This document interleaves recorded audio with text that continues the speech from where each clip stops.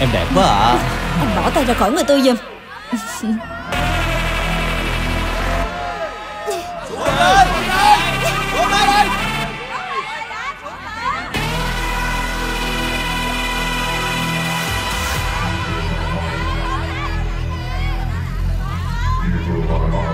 Em Em mới đi làm hả? Nhìn em lạ quá hả? Anh nhảy chung với em nha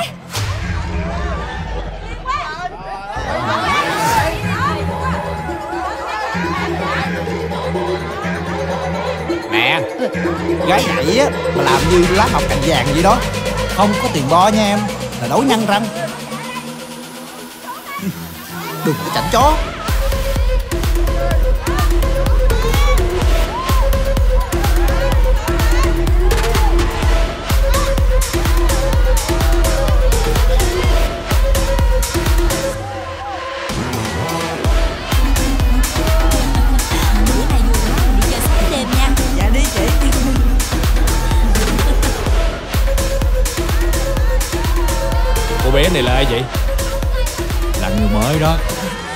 Chị là vui quá rồi, còn gì. Sao thấy đẹp không?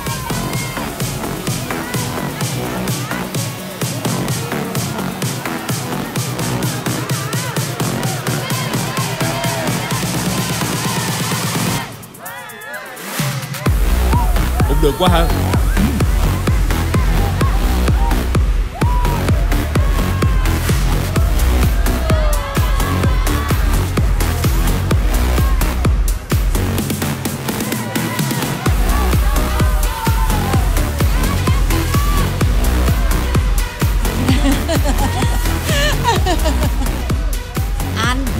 Gì mà anh với thằng Tài to nhỏ vậy? Đâu có gì đâu Mấy chuyện linh tinh đó mà Thiệt không? Lát nữa em hỏi đó nha. Mà em biết á Anh đi lăng nhăng với mấy con nhỏ gái nhảy là chết với em đó nha. Trời ơi Ai mà đi làm vậy trước người yêu của mình chứ? Vô cái nha. Thiệt không? Sau lưng thì làm vậy đúng không? Ừ. Cưng quá à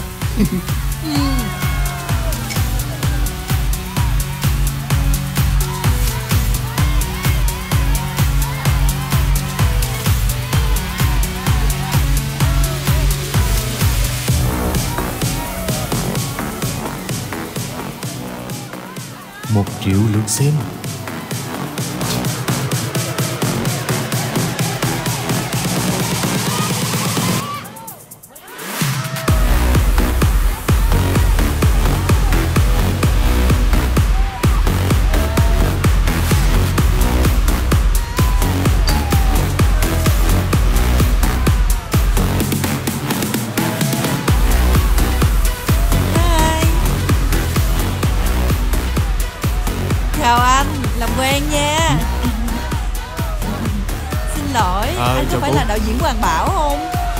Cô biết?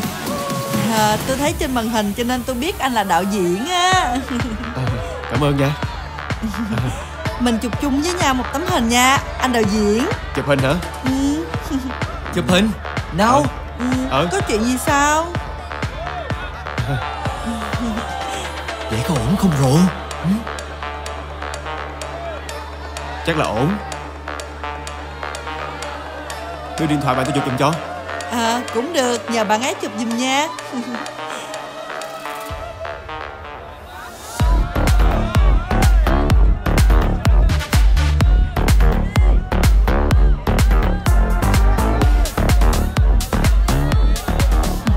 Ban đầu có kinh nghiệm hơn rồi đó. Anh đó nha Thấy đồng nghiệp mà không bước ra chào hỏi. Ở đó bài trò cho bạn chọc ghẹo người ta nữa. Dù gì á người ta cũng là đạo diễn Anh phải nể mặt người ta một chút đi. Chọc tụi nó một tiếng Chào hỏi sao? Anh nè Anh đi với em Anh không sợ người ta thấy anh hả? Ready? Anh cố tình cho tụi nó biết mà Hiểu không? À tôi ngồi bên đó với bạn tôi Chút nữa qua gặp nha. À được rồi Chút nữa qua gặp. Cảm ơn. Bye bye. See ya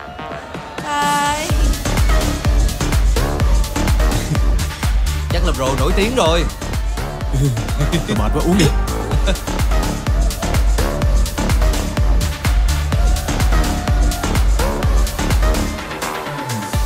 Sao? Thế thì diễn được không?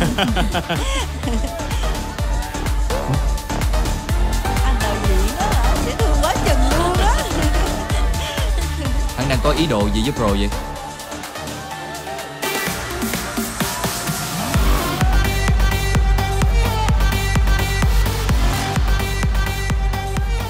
Nãy giờ cái bạn bên kia quay nhiều rồi đó.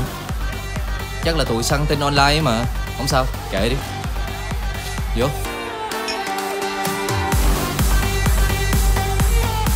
Sao ghét tụi nó quá. Nè Nãy giờ chụp hình tôi đúng không? Tôi đâu chụp hình anh đâu, tôi quay sự kiện chứ đâu chụp hình anh đâu mà. Sự kiện gì ở đây? Hả? Anh tào lao quá, tôi là người quán bar mà. Công việc của tôi là chụp hình quay phim ở đây. Tôi yêu cầu anh xóa hết những tấm hình có mặt tôi ở trỏng Anh là ai? Anh có quyền gì yêu cầu tôi xóa Tôi clip có quyền tự do cá nhân. Những hình ảnh của tôi khi tôi chưa cho phép Thì anh không được quyền sử dụng. Ồ, anh tránh ra đi để tôi làm việc. Tránh ra. Đưa đây Đưa đây. Đưa đây Không sao. của tôi Bình tĩnh. Ở đây gì? Thôi được rồi. Đứng ra với tôi. Down Calm Đâu? down Enough bro. Ở đây calm down Calm down Bro down mình ngon hả? To me làm gì làm hả? Mình đi thôi. Dạ. Hey. Yêu cầu everyone. anh phải xóa hết những hình ảnh của tôi. Không Thôi mà. Listen to me That's enough À chạy đi đâu vậy? Vô trong cho chắc. Vô trong làm gì? Cứ bảo vệ lo. Có gì đâu sợ. Thôi trốn cho chắc đi. Tí xong chuyện rồi tôi ra. Thôi đi đi.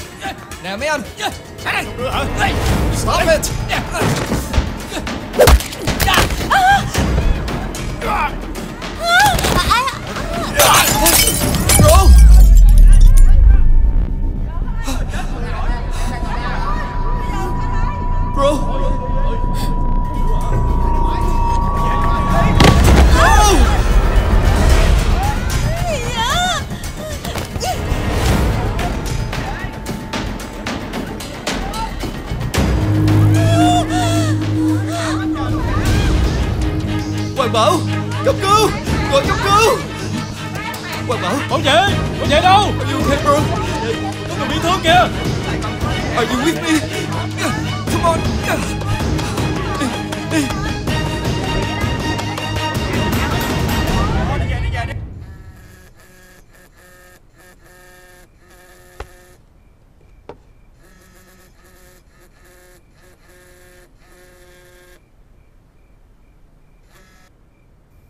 Alo Sao mẹ gọi con trễ vậy? Hoàng Bảo gặp tai nạn Đang cấp cứu trong bệnh viện á.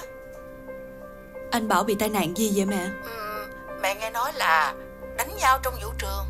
Vậy con có nên vô thăm không? Nếu chưa ai báo cho con biết Thì con nên từ từ đã.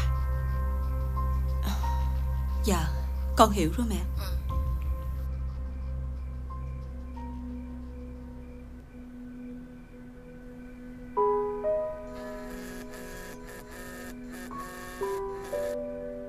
Alo? Hoàng Bảo bị tai nạn.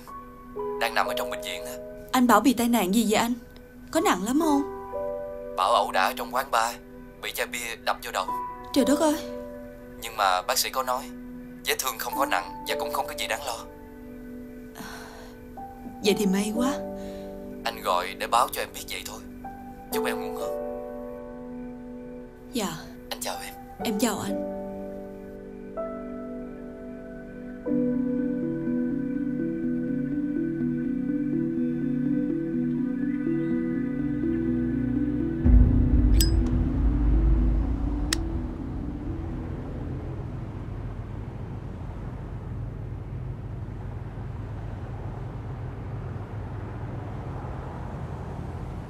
Em đang không thoải mái sao?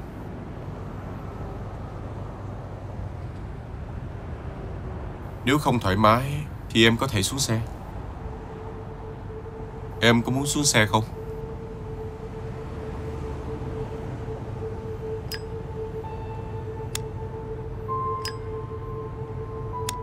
Khi đàn ông nói, Phụ nữ im lặng, Có nghĩa họ đã ngầm đồng ý Dừng xe Không Đi tiếp đi.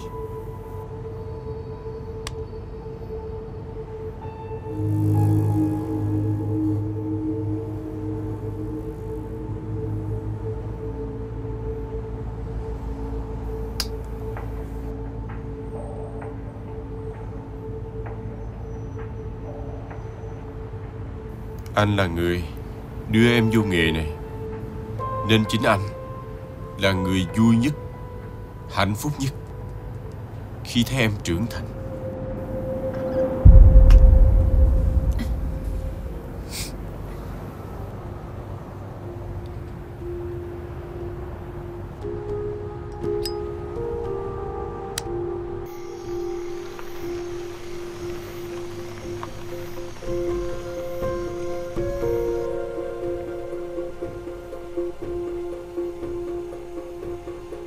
Em nhớ số chưa? Mà không nhớ cũng không sao đâu. Vì trên thẻ có ghi để tránh trường hợp Em bị lộn nha.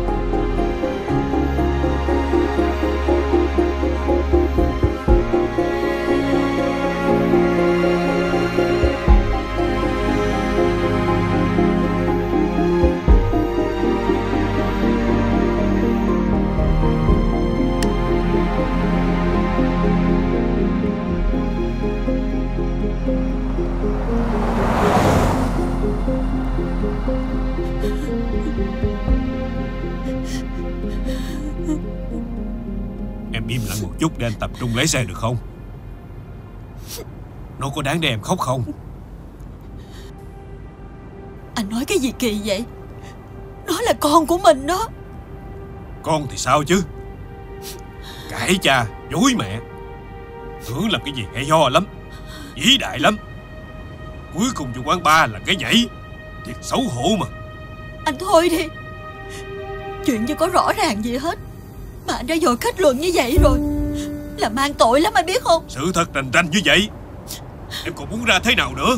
Em hết bên của Tâm An hả? Có chân Thiệt đi đứng cái kiểu gì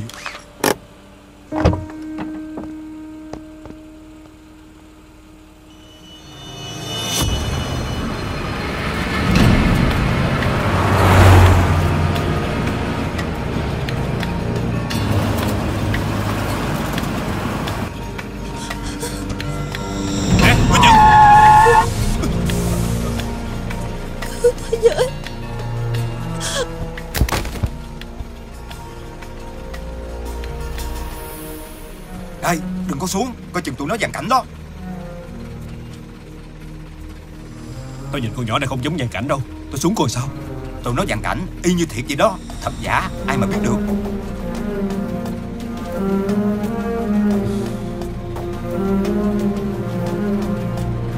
Mày không xuống để tao xuống. Cái thằng này.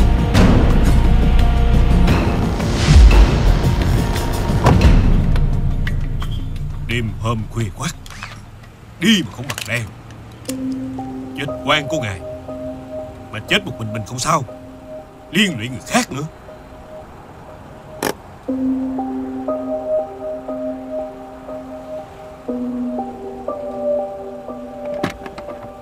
Em. Em.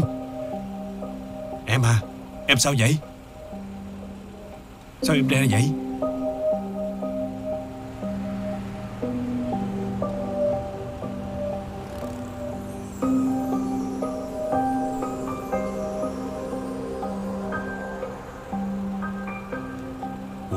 Thở mà.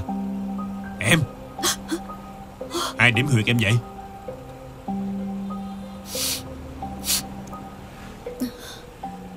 Em không sao. Chỉ là Em em lo nghĩ cho Tâm An quá thôi.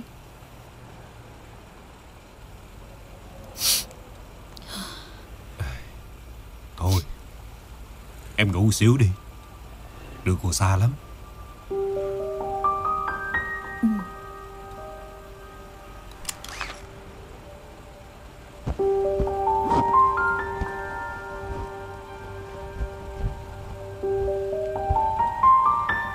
Thêm cáo cho đỡ lạnh.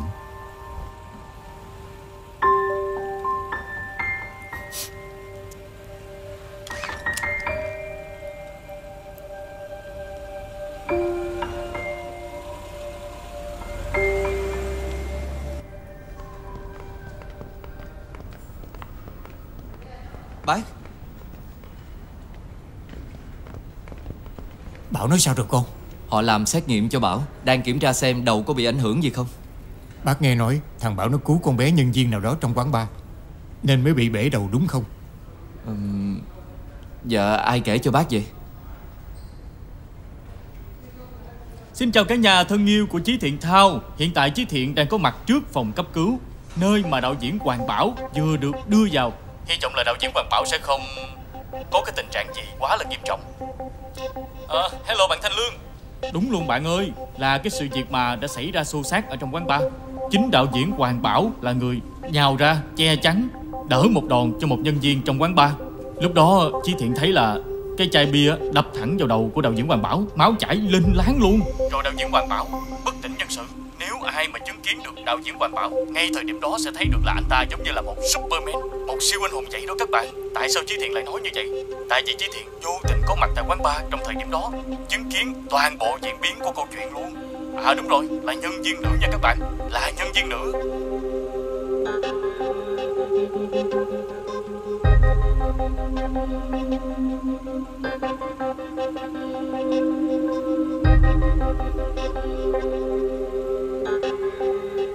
Alo Tình hình thằng Bảo sao rồi? Đang đợi kết quả xét nghiệm.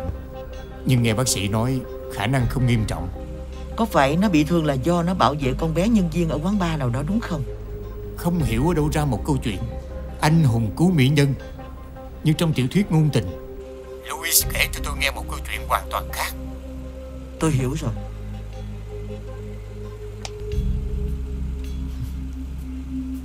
Khá lắm Chí Thiện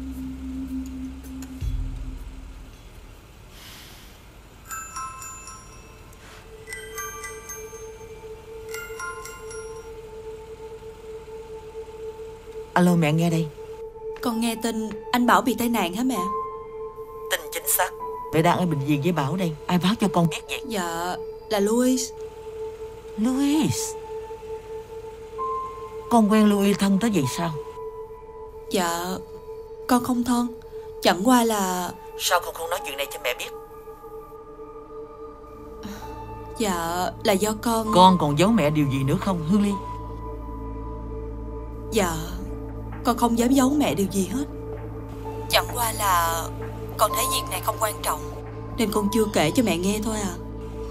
Do Louis không quan trọng Hay là do mẹ không còn quan trọng với con? Dạ con chưa bao giờ dám nghĩ như vậy à. Ừ. Con xin lỗi mẹ. Mẹ đừng có giận con nha mẹ. Thôi được rồi Con nghỉ ngơi đi. Dạ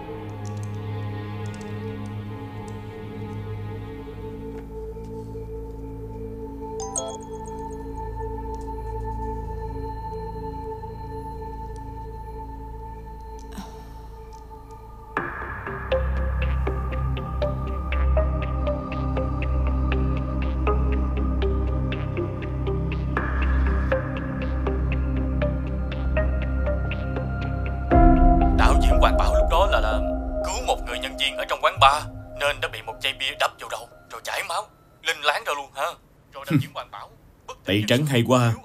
Từ hung thủ Bây giờ trở thành anh hùng cứu mỹ nhân Anh Nãy giờ chưa ngủ còn làm bèm gì vậy Anh lèm bèm chuyện nhân sinh thôi Chúc anh ngủ bây giờ ừ, Ngủ sớm đi Ngày mai còn đi ký hợp đồng Chuyện quan trọng không có đi trễ được đâu anh Anh biết rồi Bây giờ đi ngủ ừ. Ừ.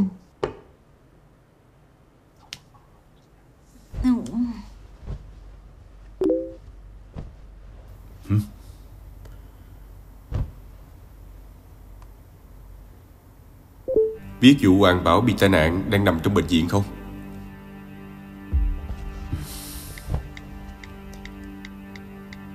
Em mới coi tin tức. Sếp tính sao? Vô thăm chứ sao? Thà không biết. Chứ biết mà không vô thì kỳ lắm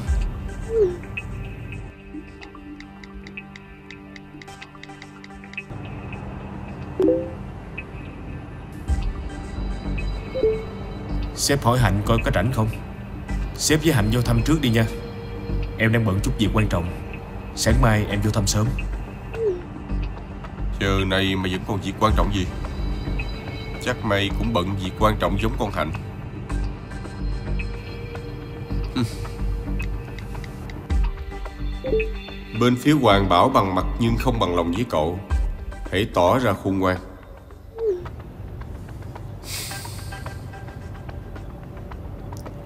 Đến bệnh viện đi. Dạ.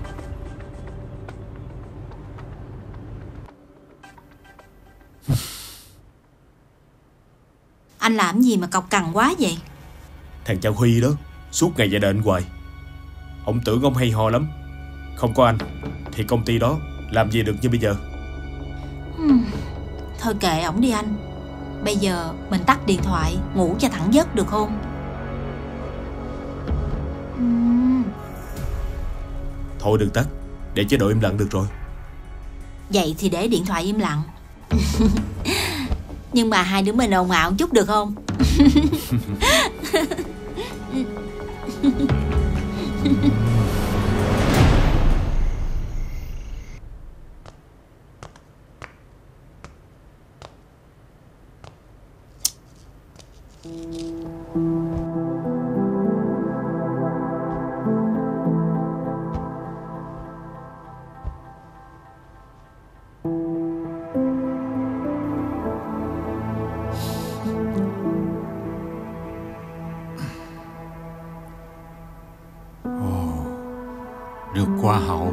cho.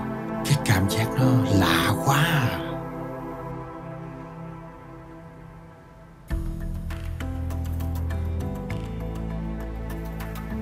Bộ em không vui sao?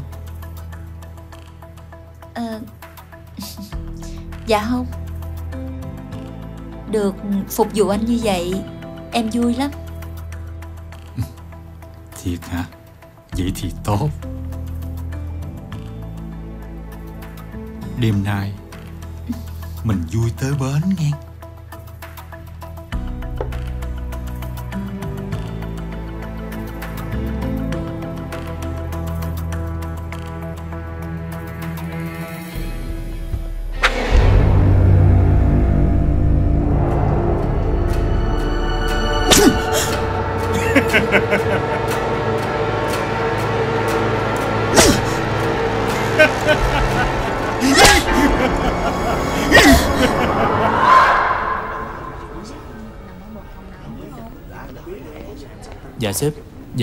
Chắc bác Tiến ngủ rồi.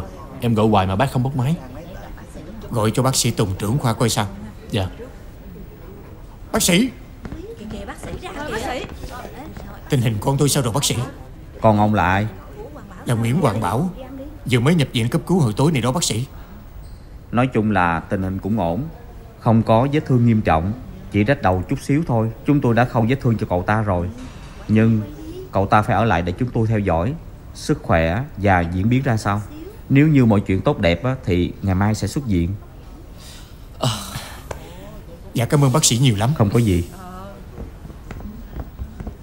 Ờ, ờ, bác sĩ, bác sĩ, bác sĩ Ờ, bác sĩ ơi, cho hỏi sao rồi bác sĩ Giống như một đám kền kền Bác sĩ ơi, Trời ăn xác chết vậy đó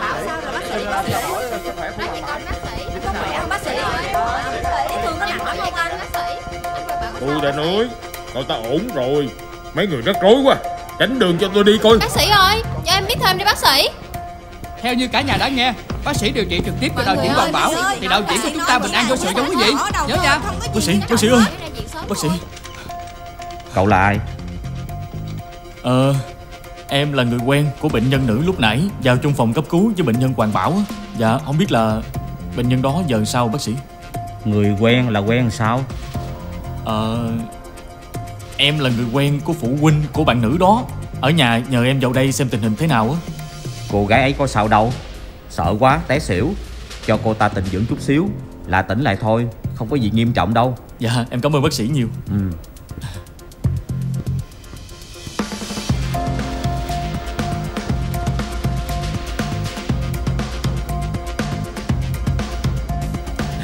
Xin chào cả nhà. Nhà Chí Thiện lại có mặt lại rồi đây Thông báo cho cả nhà một tin là tình hình rất là ổn Không có gì đặc biệt. Mà cái điều khiến cho Chí Thiện tò mò nhất lúc này là Cô gái đã được đạo diễn Hoàng Bảo ra tay cứu giúp này là ai? Thân phận của cô gái đó là gì? Dạ. Ê, Mọi người mọi người Thấy không mọi người? Ui. Hot girl Hương Ly. Của trại trẻ mồ côi cũng xuất hiện tại đây. Không biết ừ, Hương Ly có mặt tại đây để làm cái gì Cả nhà đừng quên follow kênh Chí Thiện Thao để biết thông tin tại sao Hưng Ly có mặt ở đây nha. Và đừng quên đừng rời màn hình, điện thoại, iPad cho đến cái TV nhà bạn luôn. Hôm nay rất là sôi nổi á, theo chân Chí Thiện nha. Vô đây.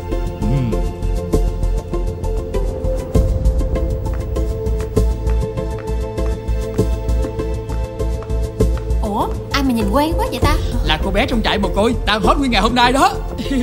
Cả nhà ơi cả nhà. sao có đứa bệnh viện giờ bất này ngờ vậy? girl Cô mồ côi Hương Ly. Đang có mặt ở đây cả nhà ơi. Hương Ly ơi, Hương Ly.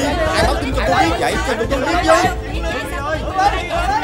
Cho tôi biết với. Không thể quá dồn dã như vậy được. Phải tìm cách tiếp cận khác thôi. Hương Ly ơi. Làm ơn Ly Ủa sao chị nhận được tin gì Ai nói cho cô biết vậy? Hương Ly. Nói với chúng tôi nói đi gì Hương Ly. Ai? Dạ. Cậu ra nói mấy đứa youtuber á Ra ngoài hết giùm tôi đi. Hương Ly ơi.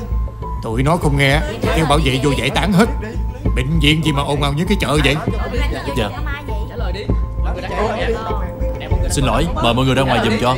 Gia đình chúng tôi không muốn bị làm phiền. Mời mọi người Con ra ngoài chú giùm Phúc. cho. Không tôi gọi bảo vệ Xin lỗi, mọi người giúp giùm Chào cô. Hoa. Cô là ai? Mà sao biết tên tôi? Rồi biết luôn cả tên cô qua vậy? Dạ Con là Hương Ly Là người quen của mẹ Lam. Nghe tin anh Bảo bị tai nạn Nên con vô đây xem sao. Mẹ Lam? Dạ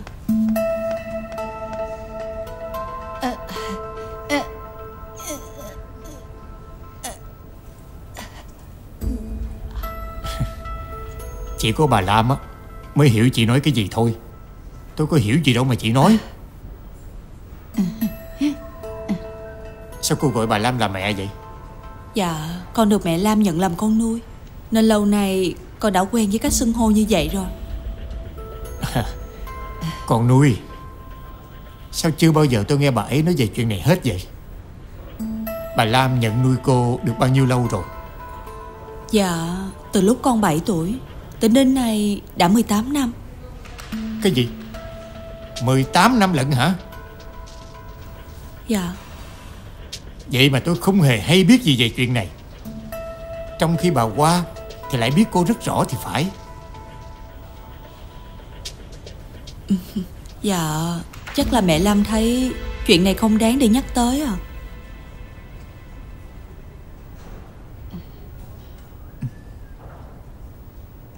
Ok xong rồi sếp. Live. Chào cả nhà, Chí Thiện đã quay trở lại rồi đây. Bây giờ Chí Thiện đang có những hình ảnh rõ nét nhất. Về hot girl mồ côi Hương Ly. Con làm mẹ ngạc nhiên quá đó Hương Ly. Đã đến lúc con bước ra ánh sáng rồi